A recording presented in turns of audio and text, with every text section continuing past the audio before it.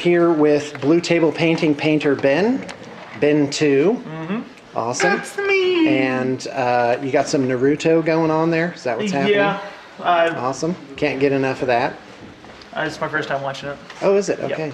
So, um, all right. Uh, before we start in on your painting tip, Mm-hmm. I want to show off these Chaos Warriors with these halberds made out of ogre. And so, what's what's your painting tip of the day? Uh, my painting tip is using dry brushes to get a nice gradient. Okay. Um, so some people, Show us how it works. so some people would like to do wet blending to get a nice gradient, but I think if you just use a dry brush, you can get basically the same effect, and it looks more organic.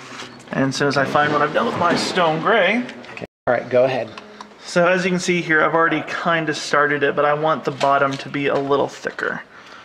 Okay. So you've already done one layer of Mm-hmm. dry brushing on this. Yep, and that's just get it done really now, hold, hold on a second. Show us what you just did on your hand. Okay, so to get a nice dry brush, I don't, I really don't like using a, Uh, like So a paper take towel some off on the edge of the palette. Mm-hmm, like this, and then I look to my skin and really, it's like okay, that's the consistency I Now want. you can feel it. Mm-hmm. Okay, great. Go ahead. So now I want this to be darker than this, so I'm going to go real heavy here, then slightly work my way up. okay. So, and then I'll go to the next one.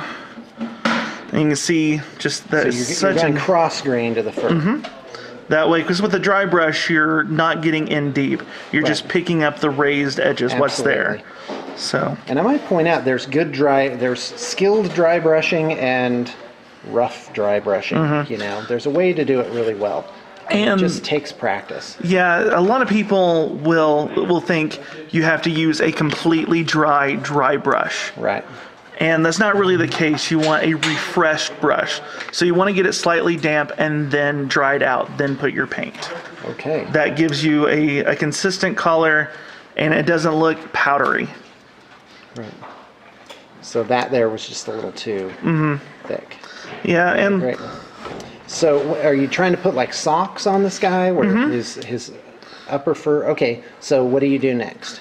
so with that, after that's done, I want to make sure that my gradient is, and since that brush is really wet, I will grab my bigger brush Right. here. And uh, I'd like to give a tip, which Mm-hmm. is I like to keep a little fan near my desk and make sure it's not blowing across your palette Mm-hmm. or your work area because your paints will dry out. But I use it to dry my brushes. what I use is uh, I always have my laptop with me. Yeah. And there's a, a vent right here. Okay. So I put my dry brush, my dry, my brushes right there, so they dry okay. out.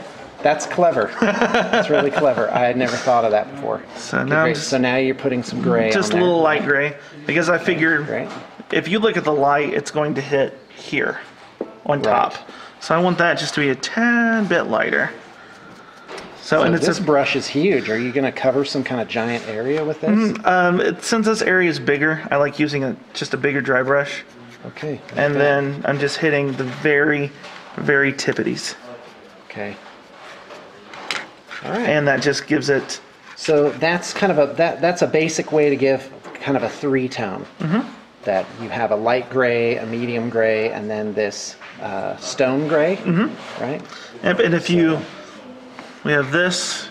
I mean, I've done all of this with the skin with just those two colors. Okay. But with the gradient that I have here, you actually look like it has a third color in it. Yeah, it does, and I think the the eye subconsciously picks up on that. Mm-hmm. Okay, great. Hey, thanks a lot, Ben. No problem.